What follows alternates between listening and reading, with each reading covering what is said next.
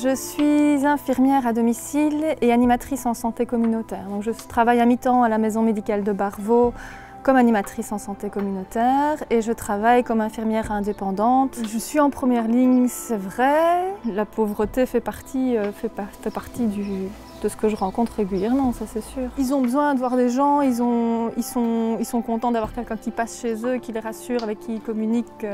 Moi, ce que j'essaye de faire, c'est de traiter tout le monde avec bonne humeur et professionnalisme, de donner tout ce que je peux donner.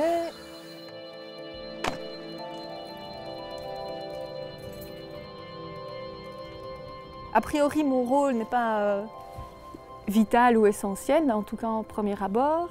Mais sur le long terme, on se rend compte que ça peut faire des dégâts, la solitude, l'ennui euh, le fait que les gens euh, n'ont plus d'activité, n'ont plus l'enrichissement social et culturel qu'ils avaient avant. Ça peut avoir des conséquences quand même dramatiques à, moyen terme ou à long terme. Et le métier d'infirmier rassemble beaucoup de choses lourdes finalement. Donc euh, c'est souvent des travails de pause, euh, donc travail le week-end aussi, travail la nuit, une charge psychosociale forte. C'est vrai qu'on est plus sous le feu de la rampe, on va le dire, alors que c'est un métier qui est en pénurie depuis des années.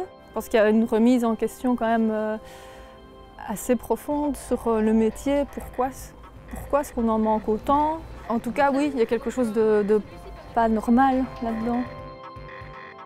Cette crise est aussi l'occasion de pointer des, difficultés, de pointer des choses à améliorer. Ce serait dommage de passer à côté.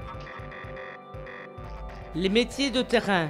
Le service public. L'associatif. La sécu. Ils sont avec vous. Vous êtes avec eux? Et, pour, tout, le monde.